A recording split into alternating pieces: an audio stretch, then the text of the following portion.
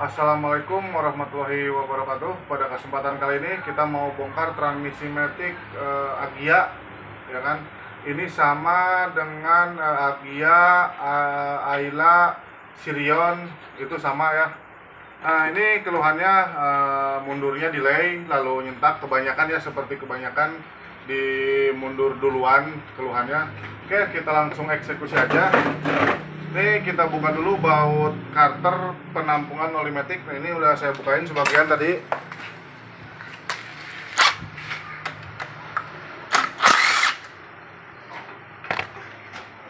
Nah ini udah aman semua, bautnya udah kecopot, tinggal dibuka aja di sini, dicongkel.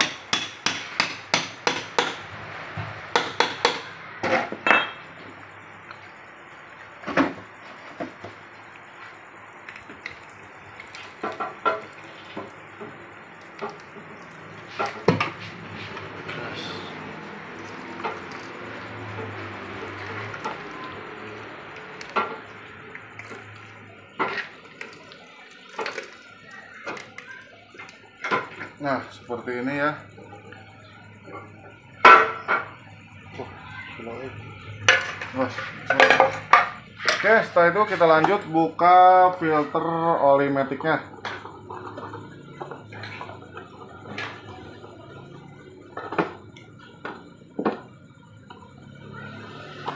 Ush.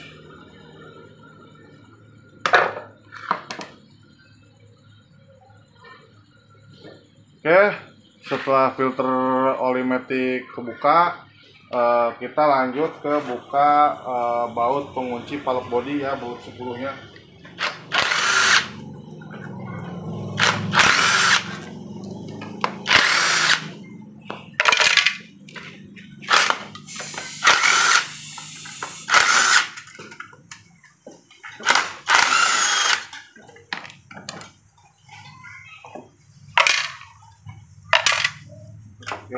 nah seperti ini.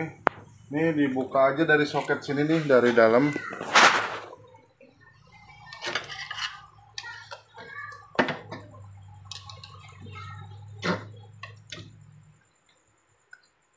Nah, seperti ini ya. Oke. Ini paloknya sama dengan Avanza, sama ya. Avanza yang lama. Oke, setelah itu kita cabut-cabutin sealnya juga.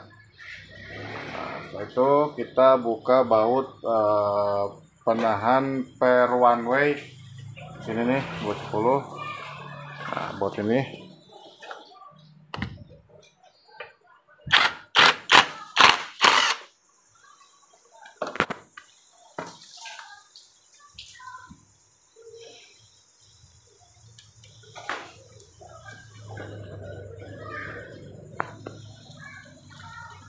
Oke, nah untuk bagian atasnya udah saya buka juga tadi.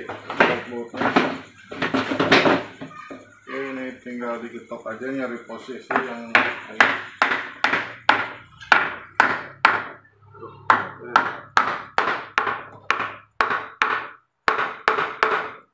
Oke, kalau dirasa udah agak renggang tinggal dikontol pakai obeng ini keras di knocknya biasanya.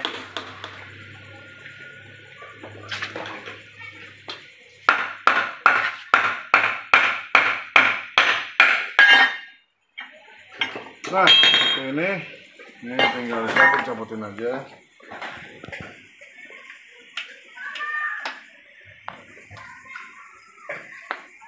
Oke, setelah itu kita bolak posisinya ya. Kan itu kan lawan. Nah, itu corongnya.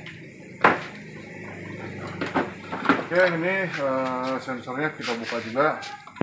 Ini output speed sensor, ini yang inputnya.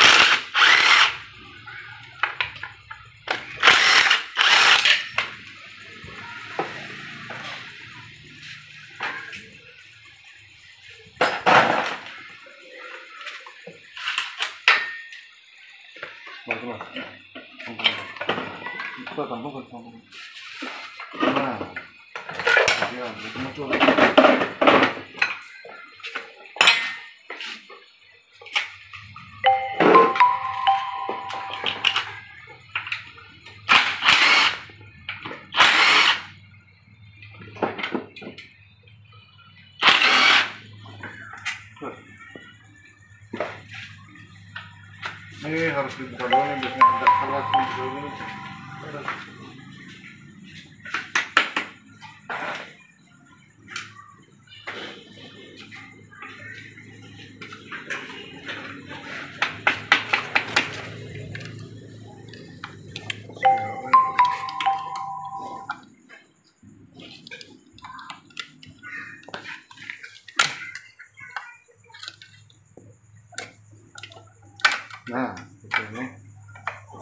Tinggal cabut inhibitornya. Oke setelah baut uh, aman semua udah kebuka semua tinggal digetok aja dari samping sini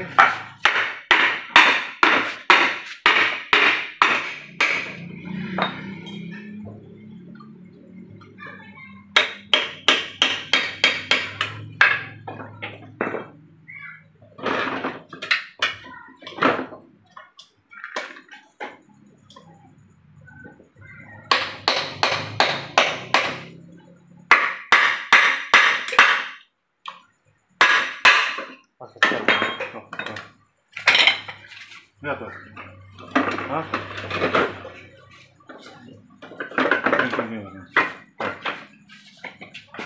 Oke, setelah itu kebuka ini si kontainer juga udah bocor tuh, udah bocor. Ini tinggal dibuka-bukain. Setelah itu kita buka dulu baut pengunci pompa olematik ya. Yang ini.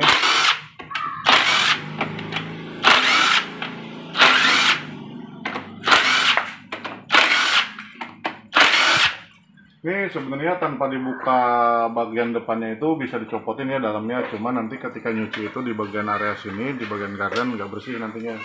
Yang dikhawatirkan nanti banyak kotoran yang efeknya nyumbat di filter. Makanya kita selalu buka di bagian depannya supaya bisa dibersihin.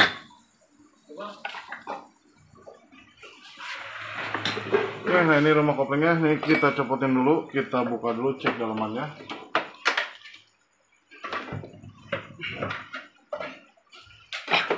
Sebuah banget.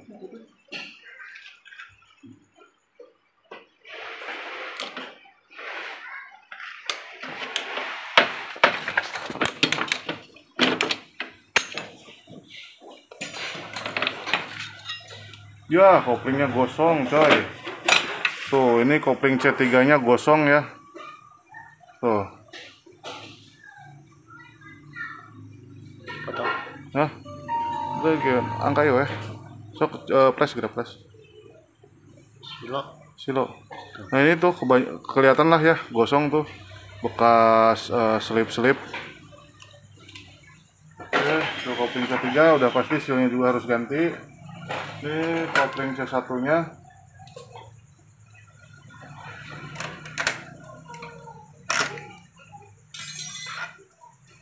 Tuh, kopling ke satunya juga udah mulai grepes.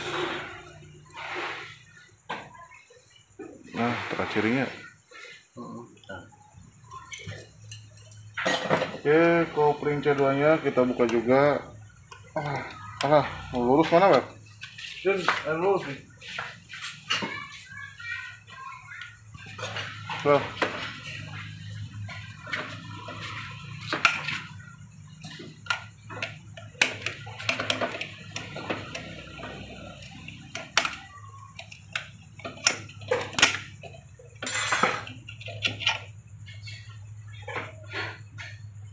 ini perlu diperhatiin di rumah koplingnya. Oh, masih bagus, ini masih aman. Oke, lanjut ke buka dulu sangkirnya. Nah, yang ini nih, ini buka dulu.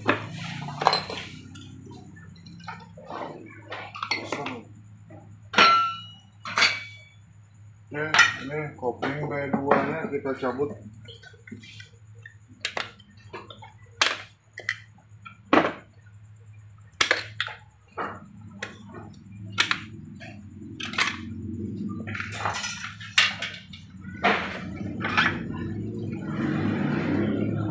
Setelah itu kita buka snapping yang ini yang penahan eh, rumah eh, sealnya nah. Ini tinggal diangkat aja berbarengan ya bisa. Ini planetari anjir bisa. Ya. Nah, seperti ini. Ini planetary gear, ini eh ini planetary gear, ini one way ya. Oke, lanjut miringkan well. Nah, ini kopling yang di satu, kopling mundur yang utama nih. Ini dibuka dulu snappingnya.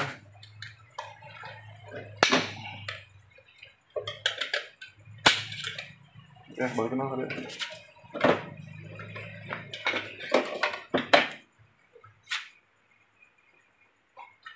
Oke, betok dulu well, itunya well. Ya, enggak saya.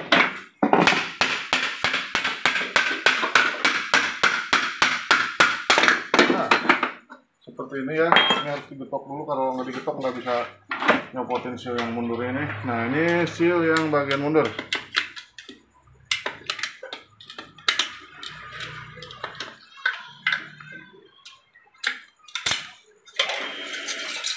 Oke, ini sealnya tinggal ditarik aja.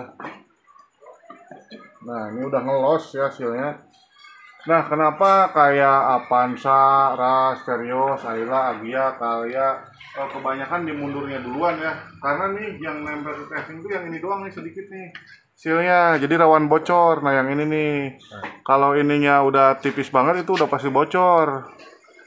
Jadi ketika ada tekanan kompresi eh, kompresi oli dari sini, ini nggak langsung naik eh, seal pistonnya. Oke, seperti itu aja ya. Eh, kebanyakan rata-rata nggak bisa mundur itu. Kerusakannya ada di seal hidrolik koplingnya. Oke, terima kasih. Assalamualaikum warahmatullahi wabarakatuh.